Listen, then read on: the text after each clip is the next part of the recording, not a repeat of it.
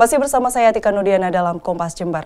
Saudara puluhan anggota Koperasi Serba Usaha Mitra Perkasa di Kabupaten Lumajang, Jawa Timur menagih uang tabungan yang sulit dicairkan pada selasa siang.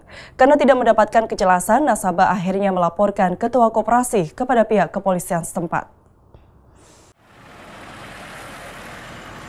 Dengan pengawalan kepolisian setempat, para nasabah koperasi serba usaha Mitra Perkasa mendatangi kantornya yang berada di Jalan Raya Pasirian, Kabupaten Lumajang.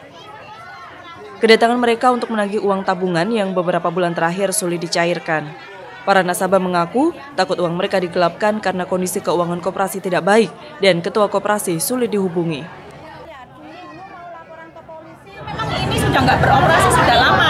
Penjaganya itu hanya buka satu minggu dua kali ya untuk nemoni nasabah ini aja.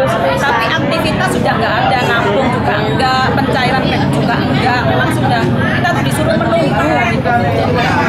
Hasilnya barusan gimana Bu? Dan ini nggak ada, Pak Welinya nggak ada. Pak Welinya sampai sekarang nggak ada nemuin kita. Ketua Koperasi Weli Soekarto enggan menemui para nasabahnya dan hanya menuliskan surat permohonan maaf atas ketidaknyamanan tersebut. Pihak koperasi beralasan sulitnya pencairan tabungan karena adanya penarikan uang dengan jumlah besar pada waktu bersamaan hingga mengakibatkan likuiditas koperasi terganggu.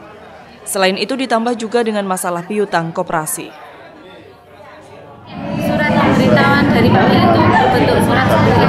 Intinya apa Bu? Intinya masih buku persidangan di rumah. Sidang apa Bu? Sidang gugatan ke pemilik saham. Oh, artinya masih per ada permasalahan di situ. Iya. Karena hanya mendapatkan penjelasan lewat surat saja, para nasabah akhirnya memilih jalur hukum untuk menyelesaikan persoalan tersebut.